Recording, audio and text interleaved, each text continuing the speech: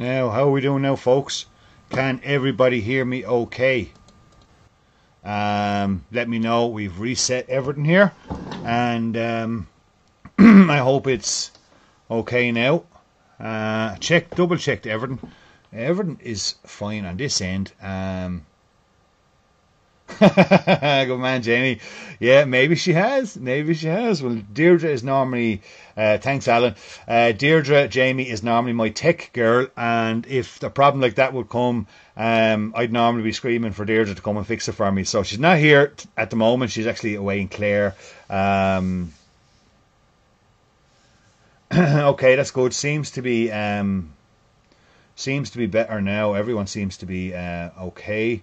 Um, okay, so look at we'll push on. If any other problems there, sorry about this, folks. Sometimes, um, sometimes technical things out of my control. Uh, the night that's in it. Um, okay, so tonight's all about Euro, uh, Euro Nymphin. Um, or not, sorry, I'm a bit lost, I'm a bit muddled here now. Um, so tonight's all about upstream nymphing, okay? So, thanks, John. Thanks, Brian. So when we're talking about upstream nymphing, we're not just talking about your nymphing. Um, thanks, Liam. We're not just talking about your nymph. We're talking upstream nymphing. So this is casting nymphs upstream. Okay. Now there is. Thanks, John. There is a lot of times when we're nymphing upstream that we don't necessarily want our nymphs on the bottom. Okay. Um, thanks, Mark. Uh, absolutely, John. Absolutely. Uh, could be, John. Could be. Uh, how you doing, Connor? Hope you're keeping well. So when we're talking about this kind of nymphing, we're not talking about our typical typical Euro nymphing, driving nymphs down to the bed of the river and uh, stuff like that. Uh, we're talking more casting upstream. Now, say um, George McGrath is going to be on in a little while there, and he's going to give a very good demonstration on the river Suir about upstream nymphing. So tonight I wanted to. Um, great stuff, Garrett. Um, thanks a million for appreciate the business. Um, I wanted to tie some patterns that were going that are quite useful. Um, that are quite useful when we're upstream nymphing. So we got our, our fly rod, fly line, floating line. You got a tapered leader down to a sinking nymph, probably really good summertime fishing and stuff like that. Uh, absolutely, Kieran. Um, and you're, you're making a cast upstream. So these nymphs are not going to sink to the bottom. You're kind of keeping a contact to them, and you're you know you're waiting for the trout to take them, um, almost like emergers and stuff like that. Okay, so I'm gonna get right into the flight time, and I can babble on as I go on. How you doing, Graham, Reggie Reynolds? How you doing, Kieran Flynn, John? Everyone's on with us there again. I hope so. And uh, don't forget, folks, if you hit that share button, uh, you will be in the draw to win one of these. Um, Great stuff, Kevin. Uh, thanks, Martin. Thanks, everyone, for letting me know. But you'll be in the draw to win these nymphs and a few I practiced on earlier on. So hit that share button or send a comment over there um, and say hi, and we will. Um, we, I'm in a bit of a muddle now. After that, we it's, it's, always the worst nightmares when you're trying to go live and um, things like that happen. So what I've got here in the device is a 611 size 14 Dohiku hook, and we have a 2.5 mil um, dark copper, Piscari Fly dark copper tungsten bead here. Um, yeah, absolutely, Ricky. Um, dark copper. How you doing, Tony Rooney? Dave Donovan's going to be on there with another trivia quiz tonight, folks. We've got a lovely um, goodie bag there to give away tonight, so watch out for that one. Uh, it was Michael McGovern. It was a mad start. Um, yeah, absolutely. Um, but anyway, so we got a 611 size 14 in the device here. I got a 2.5 mil um, dark copper Piscari Fly tungsten bead on there and I'm going to put a little bit of microglint in here, just a small little bit of microglint in here as a tail. Okay, so remember, we're not looking, we're not necessarily, like, we want these flies to penetrate to a certain level, but I don't want them down as if I was Euro nymph, so just folded that over there. So I've just teased out, as you can see, I've teased out that little piece of uh, microglint, that's the microglint before you tease it out, and then when you just tease it out between your finger thumb, it becomes lovely. how Hi, David.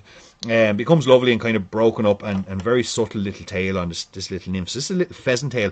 But as I was just getting to there, I don't want these nymphs to be literally penetrating straight to the bottom. I want to stay them kind of in the mid mid table of the of the water, um, and looking for those fish that are looking up. Sometimes, and an awful, you know, a, regular thing that can occur when you're an infant or focusing on your nymphing is that you're nymphing under the trout. Your nymphs are actually under the trout. If they're looking up or up in that mid table of, of the water, mid, middle body of the water, um, you know, your nymphs are actually underneath them. And you, you can, you know, you can go a period of time without catching fish and not realize, oh, maybe it's the wrong nymph, the wrong area, whatever it may be. But actually, sometimes it's the trout are actually looking up. So this kind of more of a technique of upstream nymphing um, can be can be super effective at times like that. I've got a little bit of fine copper wire going in here.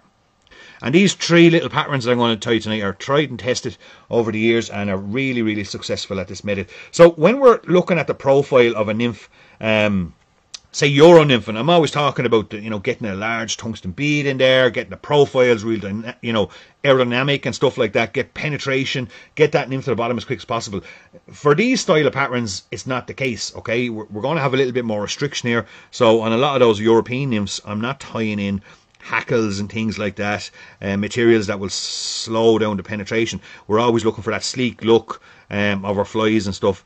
Uh, where these kind of flies, it, um, we're looking for a little bit. Uh, we don't need to be as as as uh, concerned about the, the, um, the profiles and restrictions of, of getting the nymph down. I've got a nice little bit of dark pheasant tail on here now, and I only put in three three single strands. That's all I want. Um, off that pheasant tail and I'm going to wind it up the body of the fly as you can see. Nice little pheasant tail, very simple, very natural little nymph. We really are looking to imitate those natural emergers. Um, tied off there. snip that away. So I was speaking earlier on, just going back on some of the points I made earlier on that just couldn't actually. I'm going to rib this up now with this copper wire. Um, great feedback from the technical show last weekend. Uh, everyone seemed to really enjoy it. Um, and uh, definitely something we're going to do a little bit more of going forward is, is kind of technical stuff as well. You know, we get a lot of requests for different things, um, and sometimes maybe it's just structuring one complete show into a whole technical aspect of flight tying. Um, can can can be beneficial to those people looking for it. So we'll have a look at more technical stuff going forward. But for the month of November, we got Nymphing November, got some great shows lined up, got some great special guests coming on the show over the next couple of um, over the next couple of, of, weeks. So do stay tuned in. We're here live every Saturday night. Hi to all our YouTubers. Um, hi to all our YouTubers, and don't forget if you share the stream or comment on it. How you doing, Aidan Gill? Um, you'll be in a draw to win these flies. Congratulations to uh, James O'Connor who won the prize last week for the show. So now what I'm going to tie in is a little bit of a thorax cover here and it's pheasant tail.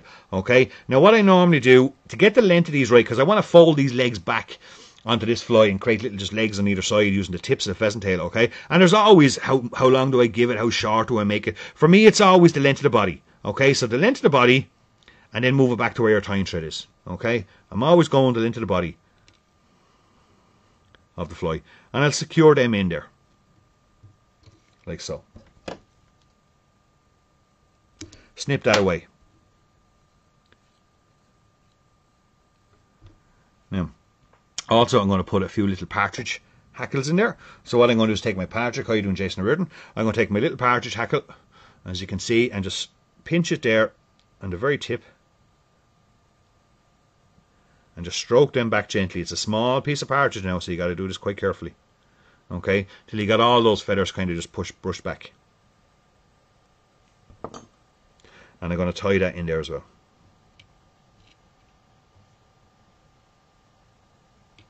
So that means when I pull all that forward, those hackles are going to just uh, shoot back at a nice angle on, the, on, on, on that nymph. Okay, we're then going to take a little bit of um, Hen Spectrodubbin number 46. I'm still in a bit of muddled after all that. My whole trail of thought, the whole thing lined up, and, and how we're going to intro, introduce our Nymphing November segments and stuff to you. Uh, I'll, I'll, catch up with myself. George will be on in a little while there now, and he'll give me a few moments. George McGrath is going to be on with us there now, folks. Uh, an absolute expert at this upstream nymph, and he does a very good descriptive video for us there on the river Suir about upstream nymphing and the, the, the um, the technique. So make sure you stay tuned and watch that. And I said Dave will be on there. Hi Hugh. Uh, Dave will be on there with his trivia quiz there in a little moment. And uh, don't forget to hit that share button. So just adding another little bit of peacock dubbing here for my thorax. Always making sure that partridge is stroked back out of the way. Nice simple little nymph. Not too flash. Very natural. You know, not overdressed. Just nice and simple. Um, Thanks, Dennis. Nice and simple. Uh, I do always get in a fluster when things like that happen. Uh, nice, and it hasn't happened in ages. I've been. I was only thinking before the show started. God, I haven't um, gone on and start talking away without hitting the no sound button for ages. I used to be a divil at like be talking away there. Next thing, all the messages come in because there's quite a delay here. I got you know, a large screen TV going to my right here. I got the computer here on my left, uh, trying to type flies, trying to watch the comments, trying to do the producing. Um, and sometimes I forget to hit a button, and I used to be quite good at not hitting the sound button. And for the last while, I think I was just thinking to myself just before the show, um, geez, it's been ages since. Um, how you doing, Graham? Um, thanks, John. Uh, but um, it's been ages since I haven't hit that sound button as you all remember from the show. So I've just tied them in over the back like so. And now I'm going to catch my cock pheasant and I'm going to pull that up through the middle as the thorax cover. Just making sure I get a fairly equal amount of partridge on either side for a moment. Just take your time with that one. A lovely little nymph. Very, very effective. I remember one year fishing a Nore up around Durrow when I was living in Kilkenny City with this style of an nymph casting upstream exactly as we do for upstream nymphing and uh, the success rate was just unbelievable. Um, so I'm going to tie them over. So you have two options here at this particular point. I can fold those pheasant tails back along if I want or I can trim them off nice and neat. Um, how you doing Norman? I can trim them off nice and neat. It depends on the finish of the fly I want. Okay, with those little partridge legs, I can trim them off. Or I will trim them off, should I say. Nice and neat. Or you can fold them back. So if you wish to fold them back, well then probably don't put in the partridge. Okay, either or will, will, will suffice as legs for the little fly, uh, a little nymph. It just gives it a very natural looking little, um, makes it a very natural looking little nymph. Going to take another little bit of peacock dubbing there now. Small, small little pinch. So you can see I'm not adding in any hot spots. I'm not doing any kind of mad over tying on this fly. We're keeping it nice and natural. Very simple little natural nymph. Uh, how you doing, Jack Cantwell? Great to have everyone back on with us here. Nice, simple, natural little nymph. Super effective. Again, I'm going to cast that upstream. I'm going to have that on a tapered leader. I'm going to have that on a tapered leader. I'm not going to have an indicator section on. For all want of a description, it's a dry fly leader. Uh, casting it upstream at, at, at, a distance away from me. And once it enters the water and gets to kind of where I want to be, I'm not going to drag it back out of water, but I'm going to do my best to attain contact. Contact is crucial here to see the takes. Um, you want to get a little bit of contact with that nymph. So if a trout sucks it in, you know, that you have some indication on the tip of the fly line, or maybe your high coloured, um, your high coloured, you'll hear George talking about that, your high coloured uh, tapered leader, that you'll get some indication that has trout has touched it, any unnatural movement to tip of that fly line, and then you'll obviously set your hook.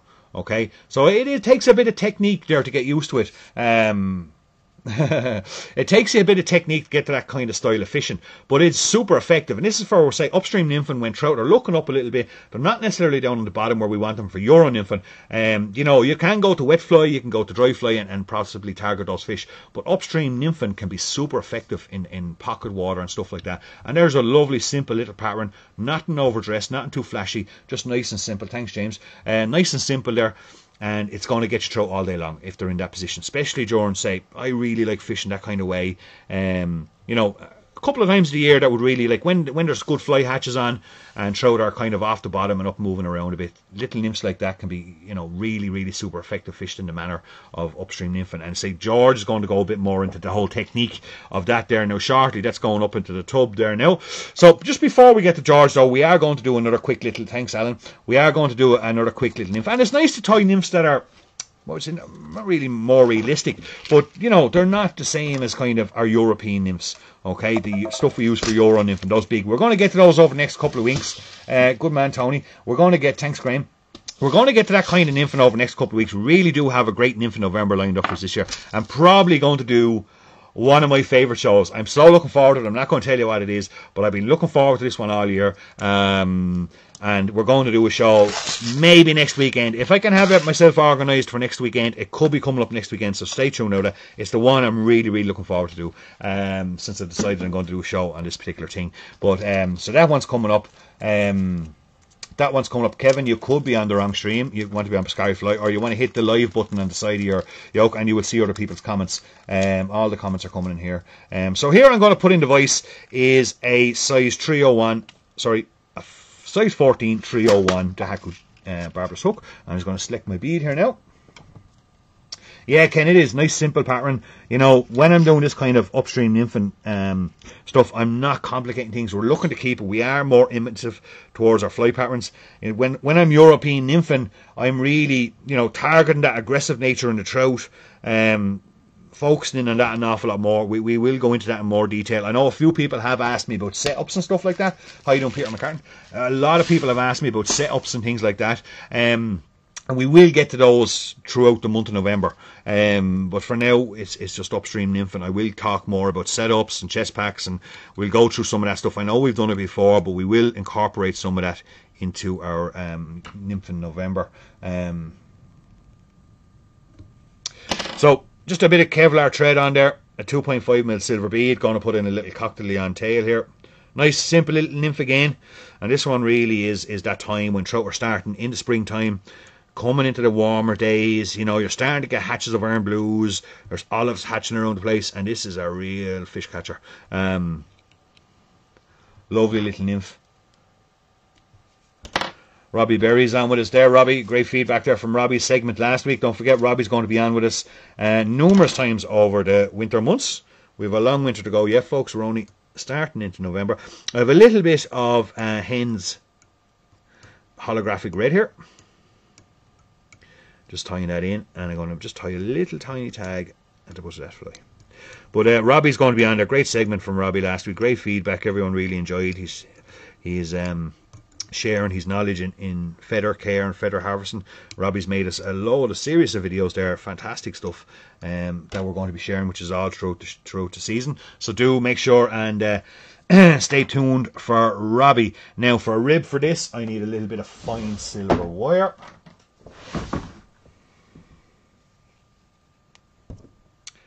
a little bit of Sabaya fine silver wire. This is 0.1. And we're going to tie that. Now we're going to add in a little bit of grey heron, okay? This is a grey heron secondary feather, not the primary. The primary can be very dark and a bit stiff for a pattern like this. Now the secondary feather is what I tend to use for my dry flies, okay? Now, because the, the, the heron is a natural a bird that lives on water and stuff like that, you know, there is natural oils in there in that feather that will um that will help keep a fly off the bottom float a bit will restrict its its, its penetration down to the to the bed of the river. So um, you know it does assist us in keeping the fly into where we want it in that kind of mid table. But this is the a much softer feather as you can see. If I, I don't have a primary there, actually I do. Hang on there one second, folks. Now I got one here beside me. The joys of so this is the primary off the wing. You can see how dark that is. You can see how quite stiff that is there.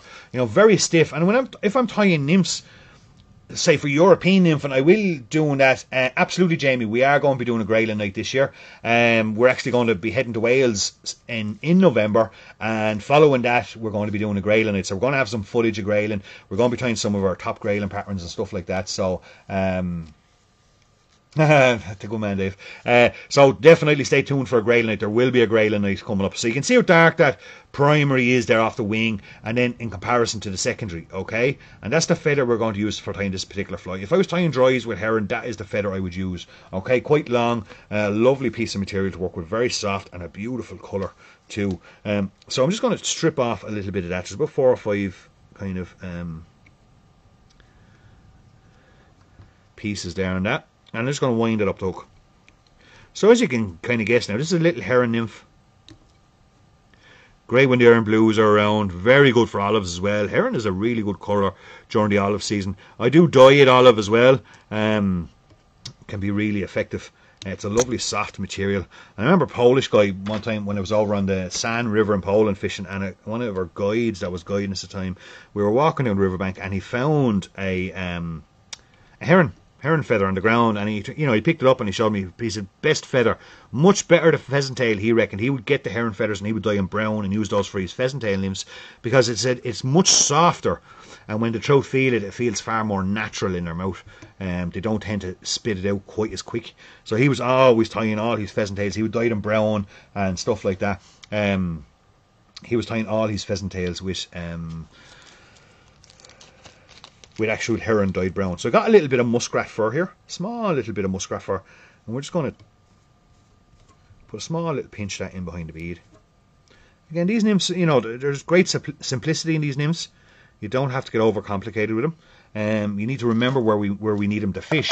And then the technique is, is probably more important than most things. Okay, the technique of being able to detect the take, being able to keep that contact without know, with a natural drift and not creating drag. Now I'm going to hackle up a little bit of CDC on this as well here. So again, you know, it's going to sustain. Um, we are Peter. We are. It's going to sustain the nymph in its um, in the position that we actually wanted in. Okay, so I'm going to hackle up. Now there's two ways to hackle up. Excuse me, CDC we will somewhere along the way be doing a CDC night, and um, we have a long way to go till March. So we, we, at some stage we're going to be doing a CDC night, and we're going to be doing a de Leon night as well, folks. And uh, got a really good show, working on a really good show for de Leon only. Um, but so there's two ways that I would hackle up a CDC feather on a nymph. One is I take it off on a magic tool, split the thread, put it in, spin it, and wind it on. But I find that can be very dense up near the bead. Okay. The second way we're going to do it is we're actually just going to wind it on like a hackle, very similar to what I do with the partridge. I'm going to pinch it up there at the head and I'm going to stroke back those feathers. Be careful not to strip anything. And I'm going to put that in there just between that bit of dubbin and the bead. Like so. Okay? Taking away my waste. So as I said, when I hackle up, if I do a double loop, um, it can be, I can find it can be a bit dense up around the, the, the um, it can be a bit dense up around the head of a fly and it can be a bit overpowering. Where if we do it just with this, we can get just a nice quantity of single hackles going back. I don't want it again overpower the fly with CDC. I just want a little subtle texture of CDC to it, as you can see. You can all get that there now. Nice subtle hackle of CDC over that. Couple of turns at the back of the back of the nymph. And again, I'm not adding in a hotspot. Okay, there's a temptation there, and I do have the, I do have the Tommy fly um, there beside me. There is a temptation there to put a hot collar on that. Um, but it's far more effective as a natural nymph fished in the, position we wanted upstream nymphing um, just like so. Okay? Give it a little bit of a brush out. And that is a beautiful nymph. Now that nymph fished upstream is absolutely fantastic. Also what's really good for that nymph sometimes you'd put on actually floating on that nymph the powder okay? Put the powder on that nymph and it'll make it float not sink. Well, it'll definitely break the surface with that little bead, but it won't. It won't um, penetrate quite as well. But the, the look you get off it now. I'm just looking for something here for a second because I just want to show you something. I'm going to wet this fly. I actually have a little tub of water beside me tonight because it's important to see our fly is wet. So I'm just going to put a little bit of tippet on that there now for a second. And I just have a little piece of water here, and I'm going to show you how these flies will actually. It's quite dark here, so bear with me a second there now. I'll try and get that. Oh my gosh. There we go. Just going to tie a little blood knot on that there now. Thanks, Kieran. Yes, absolutely. John Johnson there. It's to catch bubbles and to make legs. A bit of both. Um, hi, Tomas. Um, thanks, Colin. Uh, it's to catch bubbles and have a little bit of legs. It's also have that softness and that movement. But you're going to see when, it, when I wet it there now in a second, you're going to see how soft this nymph is going to look. And because that CDC is going to come back over and cloak that flight always moisten our net before we tighten it. Um, thanks, Mikey. Uh, really is an, a, an absolute lovely. So there we can see it nice and nice and dry. Okay, our hackles are, are, are out there. Um, gonna just moisten it up there now. And what you'll see then in a second is kind of when that looks wet and how it will. Now, look at that. You see how that CDC, look at her rib coming through. Look at her hot spot underneath. You see how our, our CDC has cloaked that fly?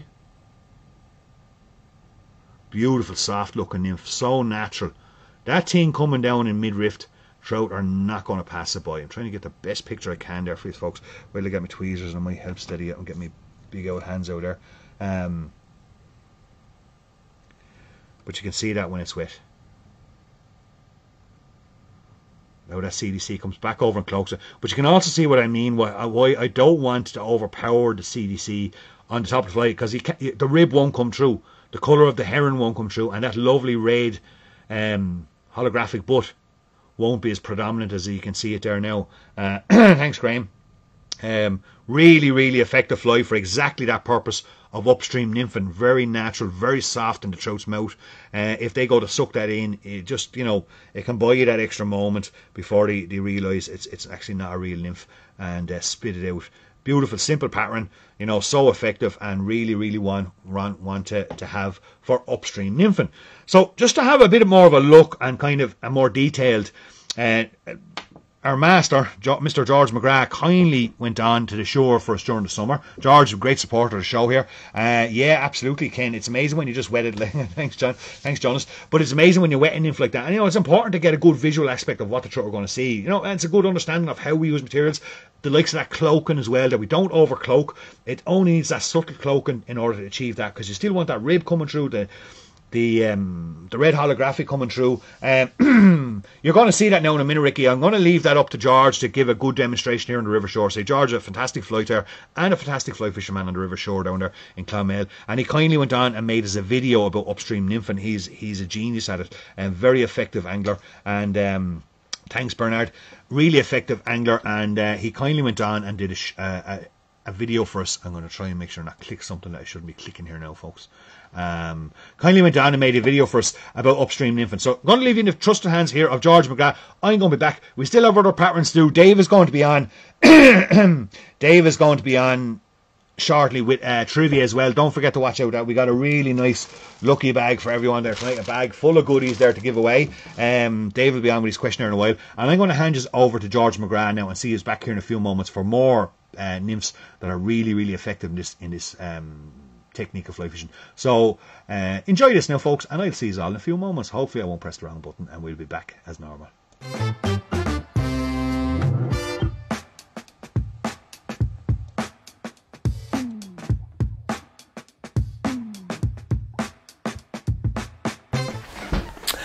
Hello, folks. Hope you're all doing well. Um, many thanks to Peter Driver for asking me to contribute to his what can only be described as a welcome relief throughout the winter to be able to see people tying flies and talking about fly fishing. So well done to Peter for um, having the, the patience and all the rest of it to um, continue again for another season, or should I say, during the close season. So um, thanks Peter for asking me to contribute. And in this video, I'm going to um, give you all just a quick sort of a run through on my favorite nymphing technique. Now, you're all fully aware, of course, and most of you know how to Euro nymph, and there's French nymphing, and Czech nymphing, Polish nymphing, and all these, a whole variety of different nymphing techniques. And all of them, without exception, are derived from my favorite method, which is the upstream nymph. And I suppose, in one sense, it's the simplest form, and that's why I suppose it began as the simplest form, and all these other methods have developed from it. And I fish this nymphing, te- nymphing technique um, virtually all the time. Occasionally, I Euro nymph. It's uh, it's fine at times, and um, it's very effective, no question about it. But I just get more enjoyment from fishing just the upstream nymph. So what I'm going to do, I'm just going to quickly run you through on how I set up for nymphing, for the upstream nymphing technique, and then what I'll do is I'll go to the river and uh, show you what I do there. So um, I'm going to start off first of all. The rod I'm going to use is this little syndicate rod. It's a nine foot three weight, which, by the way, came by way of Peter Driver's um, business Piscari fly, and it's a beautiful little rod. Just a nine foot. It's virtually weightless, and um, nine foot three weight, and uh, that's my favourite for all types of fishing. And for the upstream nymph, it's perfect, and uh, I love it for dry fly also. So basically, that's the rod I'll be using. And the reel I have here is happens to be a Sage click reel, which is again very very light and that coupled with the rod makes for a very very light kit indeed. And um, that helps of course um, if you're fishing for say a protracted period of time the fact that it's lighter and it's so light um, you don't get as tired as quickly. So how I set it up for upstream nymphing again it's the simplest form of nymphing so it's a very very simple setup. It helps if your fly line in this case this is a double taper three weight line. Now, it helps if your fly line is a high vis colour, such as this one is. This is a sort of a high vis yellow, and that helps and aids in um, detecting takes. And to that, I just have attached a 12 foot tapered leader. That's it. Now, this leader happens to be partly high vis as well. So, about for about six feet, I would say, it's a sort of a high vis yellow again. These are made by Varivas, V A R I hope I'm pronouncing that correctly. And they are also available from Peter's Piscari Fly. And I find them very good for this style of nymphing. So that's it, folks. It's that simple. You have your rod, your reel, and basically a high vis line if you have it. It is not absolutely necessary. If your eyesight's very good, it won't be necessary at all. But this aids in um, definitely with the take detection and of course the tapered leader. So now what I'm going to do is I'm going to head for the river and I'm going to show you how I set all this up, how I put it together and uh, show you the flies that I'll be using etc. So be with you in a second. See you on the bank. Right. Okay lads, here at the bank of the river now and uh, I've put the reel on the rod. The line is up through the rings and we're almost ready to go. Simply a matter now of just tying on a fly. And I'm going to go to my default nymph which basically is a pheasant tail gold bead pheasant tail in a size 14 works every place. So I'm going to tie that on. And then I'm going to do what is probably the most important thing to do. And that is to grease the front of the fly line and about six feet of the leader closest to the fly line. So there's many portions around um, different types of floatings and line floating etc. Mucilin and few other varieties? And basically what I'm doing now I'm using my right hand to apply floatant to about six feet of the leader closest to the fly line and then about five or six feet of the front of the fly line as well. This is very very important. And then I use my left hand to pick up the fly and I avoid touching the front part of the leader with my right hand. I don't want any floatant on the four to five feet nearest the fly because I want that to sink quickly. But it's imperative that the fly line floats high and as much of the leader as possible. So that's it. We're ready to go. It's uh, to say it's a simple form of nymph fishing is something of an understatement. Very very basic setup, but it works. Some unwelcome visitors cormorants. So I'm going to throw a few casts around here just to demonstrate the technique. Whether I catch any fish or not remains to be seen, but um, it's mid-September, bright sunshine, northerly airflow, so it's not really conducive to fish activity. There may not be any fish activity at all, but just going to throw a few casts so you can see how I fish this actual technique.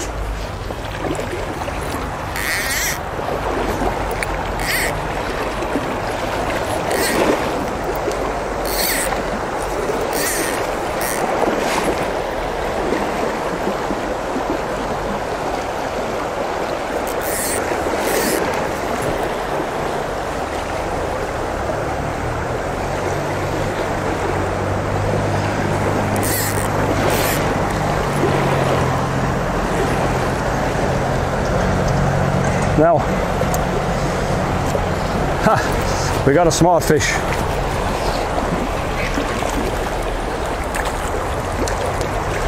Now take detection.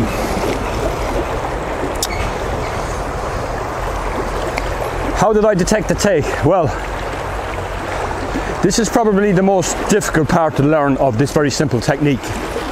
Um, basically, you need to peel your eyes to the front of the fly line and the floating part of the leader, assuming you can see it. And any twitch, stop, or hesitation on the fly line, you react immediately. oftentimes when I'm teaching beginners this uh, simple technique, they tend to hesitate when the line stops or something, and I, I, I ask them why, and they say, well, it might just be a rock or it might be a weed, and that may well be the case, but you need to respond every single time to anything that a visual indicator, or even sometimes you'll get a sense that uh, something's happening and strike, and there'll be a fish there.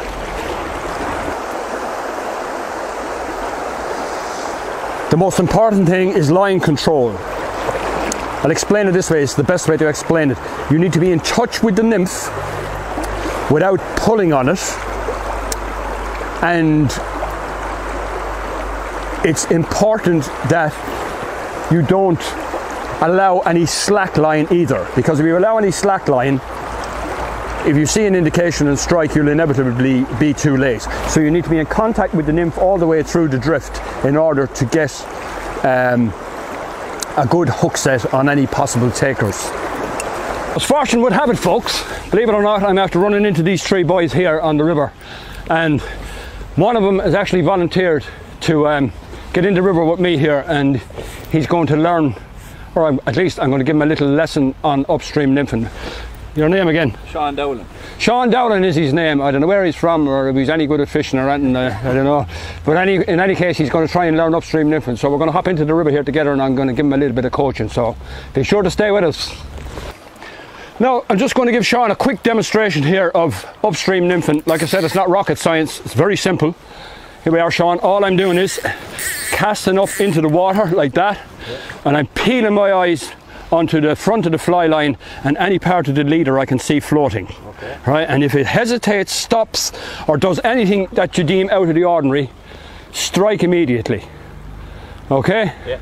So now I, under, I know that obviously you're not used to this. This is my own little nine foot rod, and you're probably going to take you a few minutes for you to adjust to it. But in any case, off you go. If you want to go over here a bit and just do what I'm doing basically. And you want to get as straight a line as you possibly can. And keep in touch with it and just watch the front of the fly line. Good. You can see that you're used to the euro nymph because you're trying to lob it right? Yeah. so if you cast it more like a dry fly that's it. That's better. Now if you bring your rod around like that bring your rod around make sure you stay in front of the nymph like euro nymphing in a sense. Yeah. You try and keep it straighter. If you know what I'm saying, you're casting at very much an angle. If you try and keep it as straight as you can, that gives you a better drift, if you like. Yeah, I get that. That's it. You move across another bit. We move. You cover a lot of water very quickly with this technique. I say, peel your eyes to it now, Sean. And if there you go. Did you see it? Yeah. Fish on. well done. Show him to the camera. Fish of the day. Success on the upstream nymph. Well done, Sean.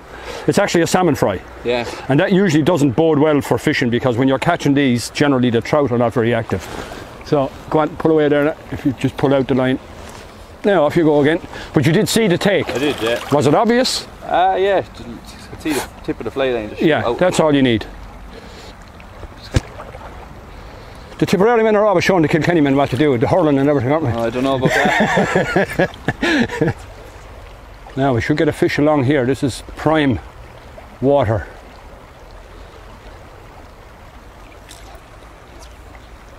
Getting used to the rod, Sean. yeah, Getting the feel of it. yeah. Nice. Yeah, it's a nice little rod, lovely little rod for this job. And for dry fly as well, actually.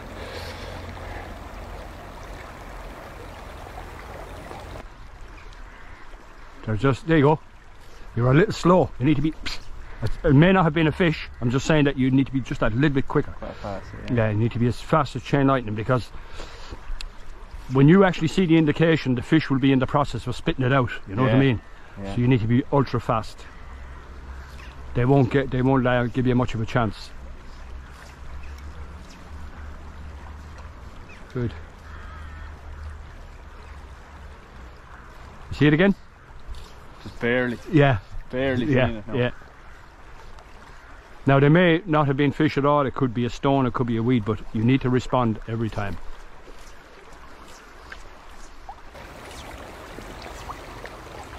Now, Sean, I have to ask you: Is it a technique that you would use in the future? Or would you prefer? you- I- Obviously, you're you Euro nymph and you dry dropper and all that already. Would you? I know you haven't seen much success right here, right Yeah. now, but like, given what you've seen, would you bear it in mind for the future? Is it a technique you might use in? in Oh yeah, definitely. It's something you know, something else to have as long yeah, along with nymph and you know, you're Yeah. a nymph and dry dropper. it's another string know- for your bow, so to speak. Yeah, exactly. Like if there's ever Yeah. a day that yeah. you know other things are not working. Yeah, Dry dropper wouldn't be working like this. Yeah. You know, it could be worth a shout. Like. absolutely. Yeah. And it's very easy to learn, isn't it? Oh, once, yeah, once you have yeah. once you have the If basics you're able to fly cast, at all, yeah, Yeah, it's relatively easy, isn't it? yeah, you'll, you'll start getting the hang Yeah. of it. Yeah. Yeah. See, just see near, near them bulrushes there, just between us and the bulrushes, if you can throw a cast just there. Yeah. Good. That's a, a likely looking spot. Like combining dry fly fishing and nymphing. It is, it's, One, like, it is exactly, yeah.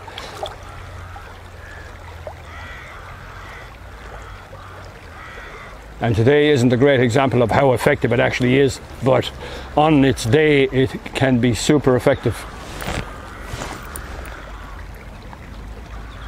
So that's it, Sean. Good man. Appreciate you giving it the, the go and um, No problem at all, George.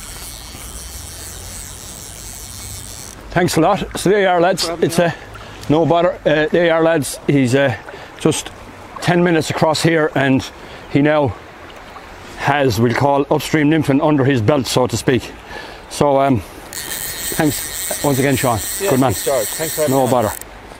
That is one other advantage that I didn't mention, and that is the fact that you just have your leader and one fly means that you can nip off your nymph and put on a dry fly in the event that you spot a fish rising. So, in an instant, you can go from nymph fishing to dry fly fishing or even a wet fly. Now, that's something that you can't do if you're Euro nymphing because you have quite an elaborate setup for Euro nymphing, which would take time to change. So that's the upstream nymph, lads. It's not rocket science. It's a skill like any other fly, fly fishing skill. It takes a while to learn and to get good at it. The more you practice, obviously, the better you'll be at it. So, um, I hope this made sense to you. It's an abbreviated version, if you like, if you want to see a more, um, a longer version of what I've done and uh, more information. If you check out my YouTube channel, Gundog and Fly, I have quite a few videos on upstream nymphing. So, once again, thanks for watching, lads, and uh, thanks again to Peter for asking me to contribute. Slog of all.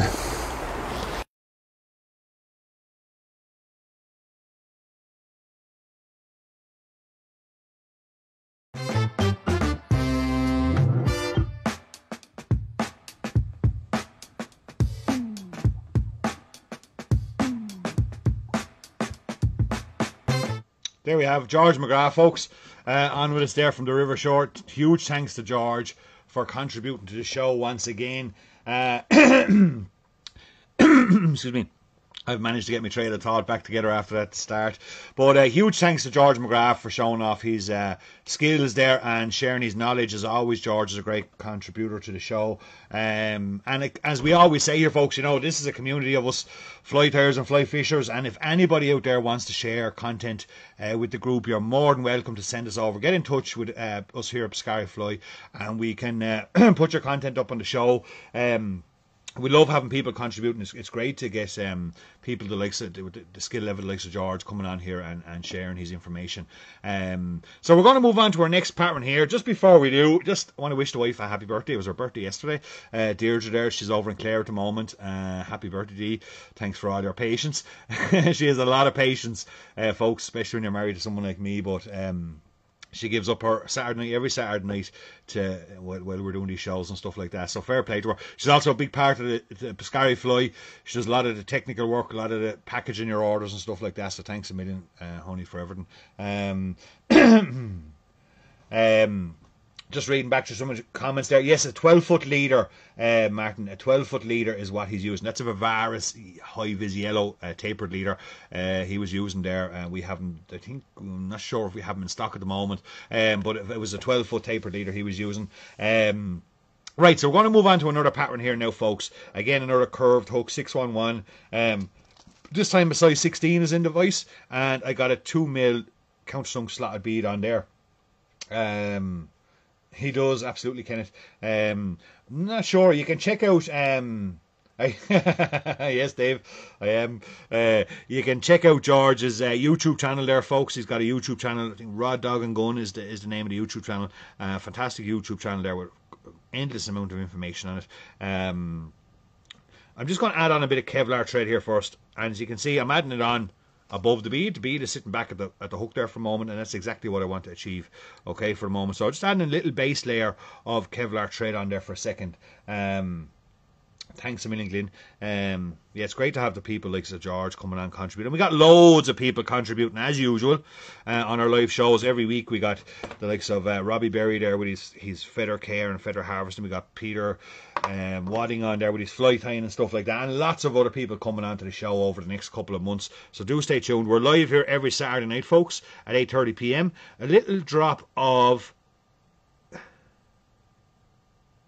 just hold my breath there now for a moment. I don't want to overdo this, which I nearly did. A little drop of Zap-A-Gap onto that hook, okay? And we're going to move our bead up into position. And that is going to, I'm just going to get a little needle there now for a second and just clean that up. Got one here somewhere. little brush will do.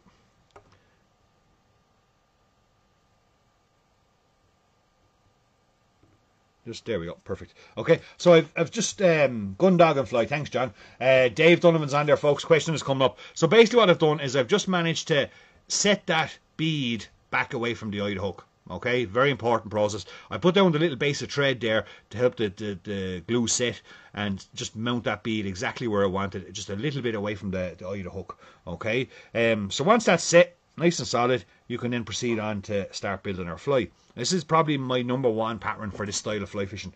Um, back to our Kevlar and add it in back onto the shank of our hook.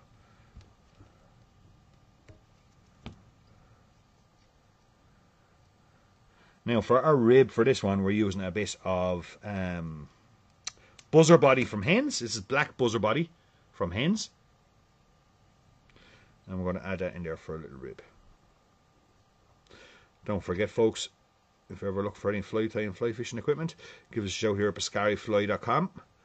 We're always willing to give you the best advice possible we have.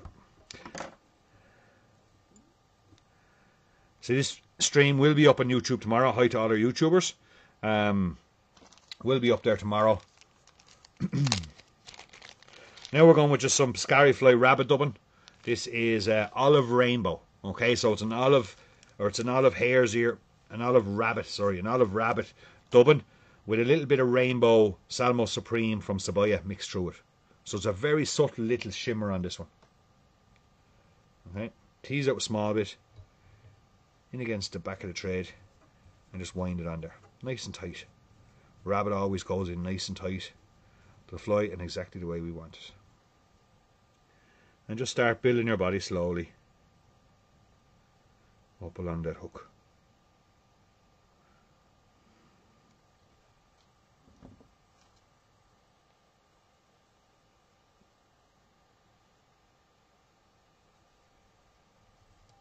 Must be a long question, Dave, if you're taking this long to text that I'm looking at here thinking, uh,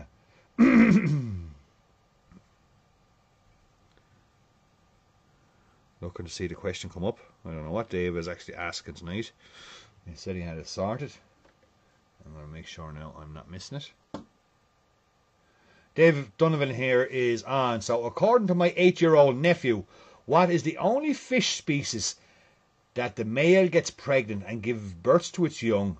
Third answer, third answer is correct, is going to win that um, nice prize there of that lucky bag. And while you are all thrown on the answers there, Mikey Foley's on there with a horsefish. While you are all throwing up your answers, don't forget the third correct answer wins. Okay? David, let me know who wins that. Um, Ricky Nemo. I don't know, Ricky, if Nemo counts. But uh, I'm going to rib up this little olive body now with the black Hends buzzer body.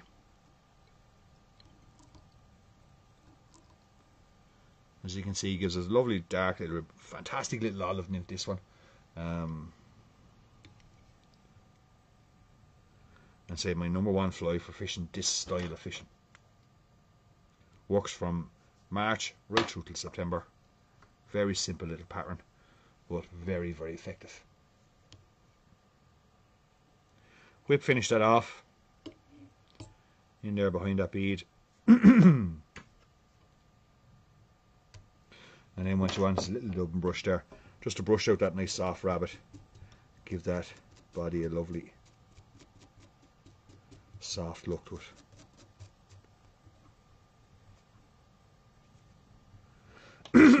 Excuse me. So once I've done that, I'll then take my Kevlar thread. I'll just straighten up the either hook, make it a little bit easier for myself. I'll take my Kevlar thread and add it into that section. There's about two mil there, between two to three mil between the, the, the bead and the actual eye of the hook. Okay.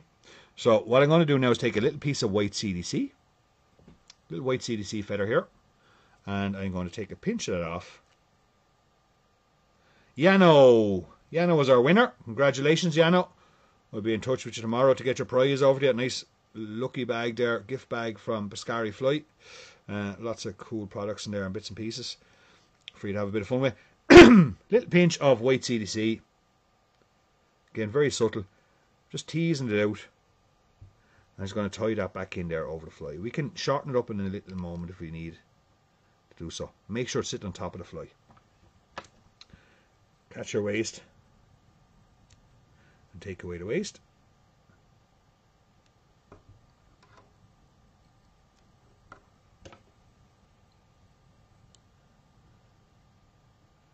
There we go.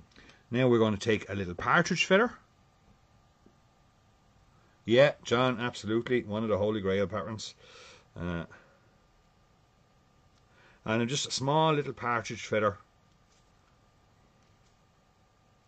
as you can see and we're going to tie that in there as well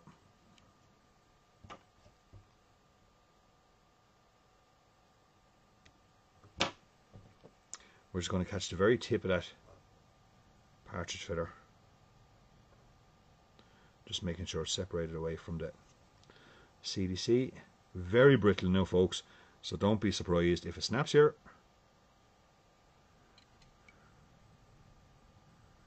That's just part of the flight time process.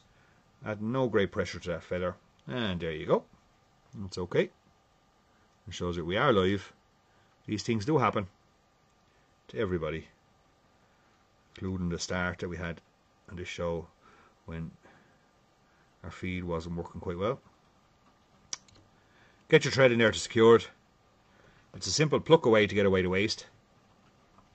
And then we're going to stroke that partridge feather back over that bead. So basically, we've got the, the weight effect of the bead, but we're, we're cloaking that bead, we're really hiding that bead as well. Um, very little natural olive pattern. Absolutely lethal in the technique that George just showed you. Um, absolutely, John. Yeah.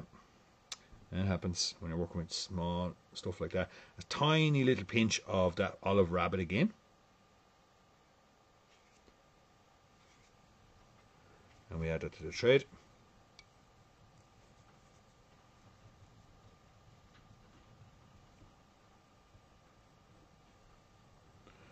Making sure oh, all those. Er I'm just putting a little olive. Sorry, my mistake, folks.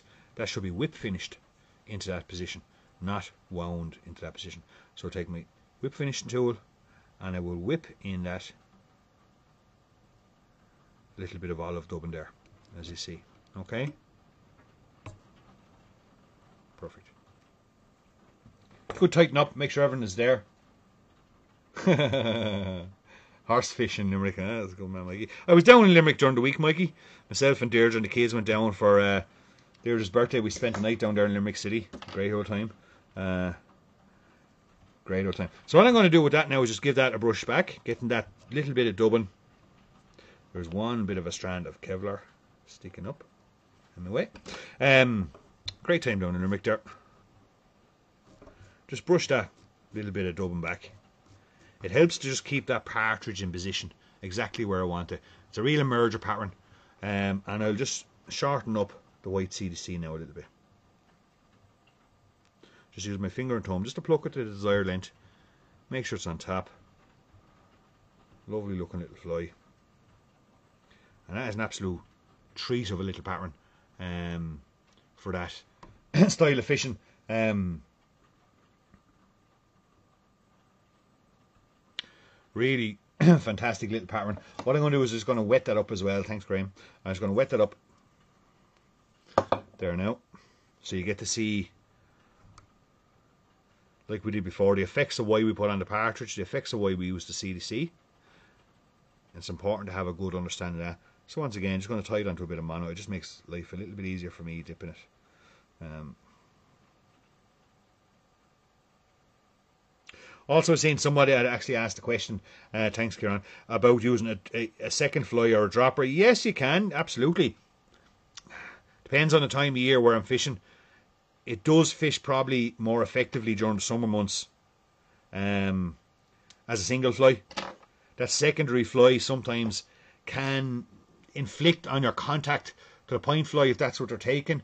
Um, so um, can inflict on it a little bit. So, so I do tend to stick to singular, as George was showing there in his video.